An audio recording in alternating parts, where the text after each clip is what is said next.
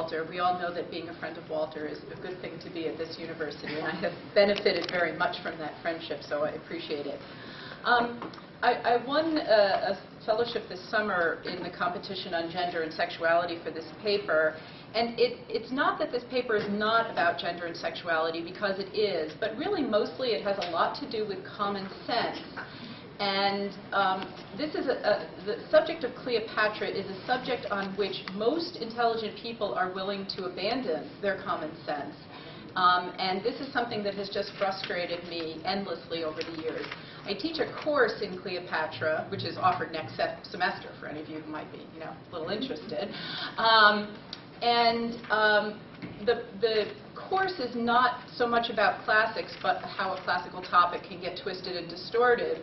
Um, and in the course of reading through the voluminous material on Cleopatra, I just never fail to be frustrated by how, will, how willing people are to just abandon reality um, in ways that people will not when they're talking about other classical topics. And so, um, particularly the last time I taught this course, I became increasingly frustrated with Plutarch as a source and thought that it was time that I tried to do something to sort of, um, I don't know, smack people in the face a bit to say that we really have to be very, very cautious in how we use our sources, particularly in a topic that is so tantalizing and so seductive. So that's the origin of this, and I'm, I'm expecting that I will finally finish this project as I teach this course again next semester and um, am able to involve my students in the, in the process of thinking clearly, I hope, um, to just to, to iron out some of my own prejudices that I've developed over the years as well. So it's always good to bring new people to the material um, just to, uh, to point out to yourself how much you've become inculcated in the nonsense of the field. And that sounds very negative, but that's how it is. Okay, so um, Plutarch's invention of Cleopatra, and the title is deliberate because I want to argue that, that um, the Cleopatra that we know is indeed an invention with all the meaning, possible meaning of that word, of Plutarch's. Uh, it would probably be a challenge to find a person in the Western world, and perhaps the Eastern world too, who had not heard of Cleopatra. Everyone can tell you something. She was beautiful, she was learned, she wore thick black eyeliner. Most people know Cleopatra via Shakespeare or Hollywood. She has been molded, finessed, sculpted, idealized, turned white, turned black, and turned every color in between. And I'm not joking when I say she was turned white. Vivien Leigh played Cleopatra in a Hollywood movie, and she did it in white face. I say that again. Vivien Leigh did the movie in whiteface. Digest that for a while. Okay. no one can ever get enough of Cleopatra. By my latest count last night, there are eight new books on Cleopatra in English this year alone, and the year isn't over yet. One of them was released just on November 1st and is already at number three on Amazon's sales list, which is remarkable. And number four is the Kindle version of it. So I think that if you combine them, that would make it jump up. Um, unlike most scholarly monographs, books on Cleopatra sell out and actually go into paperback runs. As an enduring icon of popularity, Cleopatra is unrivaled. But what do we really know about Cleopatra? A number of pieces of scholarship over the past decade or two have attempted to strip Cleopatra of her Shakespearean drama and her Hollywood theatricality. These authors have tried to desensationalize her story and reduce her narrative to the story of a power-hungry monarch rather than that of a degenerate Eastern seductress. But this, in my opinion, does not go far enough. Because we're all so taken with Cleopatra, we are quite reckless in our approach to her.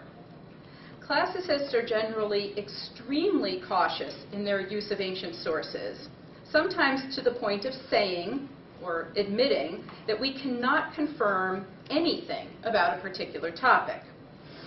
But when it comes to Cleopatra, we throw caution to the wind. So today, my talk will not really be about Cleopatra, and I'm sorry if that's false advertising, but instead, I want to talk about Plutarch, a plain old boring Greek guy who is at the heart our- of our obsession about Cleopatra, and I might say, indeed, that the obsession is his fault. Sources on Cleopatra from the ancient world are few and far between. Cleopatra herself, as the ruler of a wealthy empire spread across the Mediterranean, engaged in active self-promotion, portraying herself in Egyptian art as a living deity, appearing in public in the guise of the goddess Isis, and staging elaborate ceremonies to promote herself. The attention she garnered made her the easy victim of the propaganda of her enemy, Octavian. Thus, Cleopatra became a character, a character in Roman poetry. Uh, Propertius calls her the Regina Meretrix, the whore queen, and Horace calls her the Regina Dementis, the demented queen. Contemporary prose authors avoided any discussion of Cleopatra, except Cicero's pithy remark, Reginam odi, I hate the queen, which is what we would expect from a man as conservative as he was. We do not have any Augustan historian's account of Octavian's conflict with Egypt, and this is probably no loss if we are interested in unbiased accounts. The poets Horace and Virgil give Cleopatra some credit for her gumption. Virgil, in essence, concedes that she was a dux, a leader, but within the realm of fiction, they were able to accomplish this while keeping their heads on their shoulders. The real history of, Cle- of Cleopatra begins with Plutarch. Plutarch was a wealthy and well-educated Greek born in 44 of the Common Era. He was a prolific writer of a variety of essays and biographies. Much of his writing is on morality or ethics, and indeed, some people really consider him uh, more of a philosopher than anything else. Plutarch's lives, his most famous works, are not biographies in the modern sense, and they are certainly not history.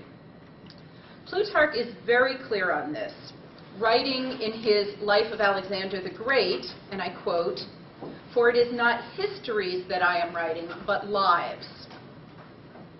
It is Plutarch's intention to show the events that best illustrate the moral fiber of his subject, rather than what would be conventionally considered the person's most famous deeds.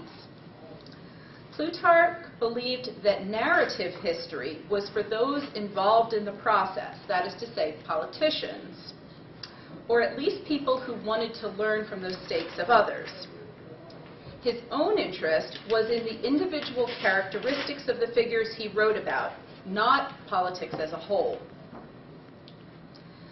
Plutarch's primary interest was in men of great character, the Alexanders the Greats and the Julius Caesars is, what would be the plural of that?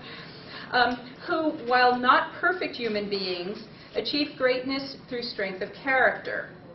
And Plutarch did write on women. He wrote a, a, an essay called On the Virtues of Women. It's a very, very strange little piece, which I still can't really make heads or tails of. Um, anyway, Plutarch likewise felt a need to address those who felt short of virtue, preferably those who fell short in a disastrous way. And so this is his explanation of why he did this. And this is from his life of Demetrius.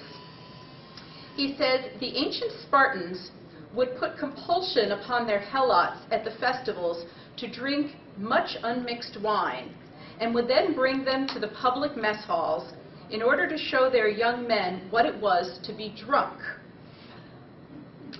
And though I do not think that perverting the perverting of some to secure the right of another is very humane or a good civil policy, when men have led reckless lives, perhaps it will not be much amiss for me to introduce a pair or two of them into my biographies. So I think we shall be more eager to observe and imitate the better lives if we are not left without narratives of the blameworthy and the bad. Okay. So he wants to hold up a couple of people as exemplars of bad behavior. Get them drunk in public.